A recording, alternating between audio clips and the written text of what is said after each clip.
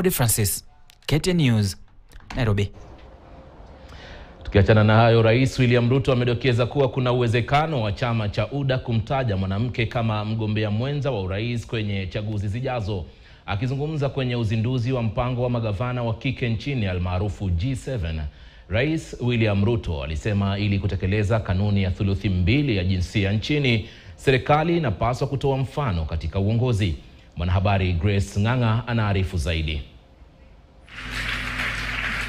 Machi saba mwaka elfu mbili na ishirini na nne itasalia kuwa tarehe ya kihistoria kwa Kenya, huku mkakati wa G7 ukizinduliwa rasmi na Rais William Ruto, uthibitisho wa nguvu ya mshikamano wa wanawake unaolenga kuongeza ushirikishwaji na ujumuishaji wa wanawake katika uongozi wa kisiasa nchini. But let me encourage you that um, what women governors are doing, they are doing more campaign than any campaign can be done. In the, jo- in, the, in the good job they are doing in their counties, they are not only inspiring other women to be leaders, but they are making it easier for the country to elect women the next time round. to increase the number of women governors from the current G7. It's not just a story. We're not just sitting here um, having this conversation and then going back to our homes. We have a strategy cut out for the next three years. Rais alithibitisha kuwa mikakati kabambe itabuniwa ili kutimiza kiwango cha ujumuishaji wa kijinsia katika katiba kwa kumpa mwenyekiti wa chama cha UDA Cecily Mbarire jukumu la kuunda kanuni mpya ambazo zitahitaji mgombeaji urais wa kiume kuwa na mgombea mwenza wake wa kike au vinginevyo. Going forward, if a man is a candidate for president in our party, the woman must be the runner. And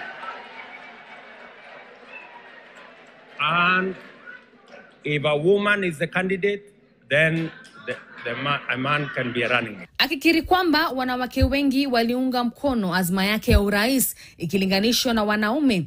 Rais aliwataka wanaume kuwa mstari wa mbele kuwalinda wanawake dhidi ya ukeketaji, hasa katika maeneo ambako ukeketaji umekithiri. men leaders to work in concert, all of us, to protect our children, especially from FGM, early marriages, and early pregnancies. Magavana wa kike waliochaguliwa alisema ingawa kuna matumaini katika kufikia utawala wa theluthi mbili ya jinsia nchini, mapambano ya wanawake katika siasa bado yanaendelea. Please, my brother Kimani Shongwa, support us. Make sure we deliver the two thirds gender rule under your watch, and we'll be very, very happy.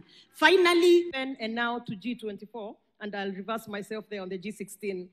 I pray that for you sisters whose hands you want held, that we shall be up to this task as we work hard at retaining our seats, because we also can't increase by reducing our numbers. Mnajua, mkitupatia kazi sisi kama kina mama, as we are always there to deliver, kwa sababu ile kazi tuko sisi ni kazi ya kufanyia Wakenya na ile ingine ni kazi ya nyumbani kwetu. Baadhi ya maazimio ya mkakati wa G7 ambayo hayajashughulikiwa yalikuwa kutafsiri programu za ushauri zinazoanzishwa katika kaunti saba zinazoongozwa na wanawake na kushawishi uteuzi wa wanawake katika vyama mbalimbali vya kisiasa. Aidha, walieleza ongezeko la ushirikishwaji wa wanawake katika ugatuzi na sauti katika kufanya maamuzi umoja kati ya magavana wanawake na maseneta wanawake ili kufanikisha ugatuzi na kuhakikisha utawala bora na uwajibikaji wa kifedha.